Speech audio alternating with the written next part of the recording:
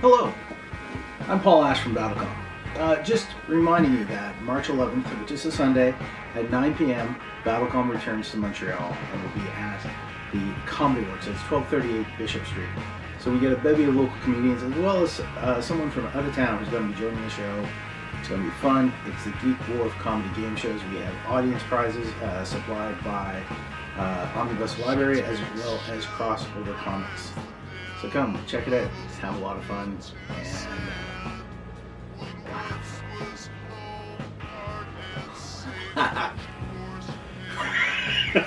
And...